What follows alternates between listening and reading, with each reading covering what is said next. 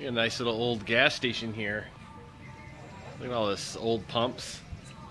Stuff like that. It's kind of cool. Oh, somebody's here for service.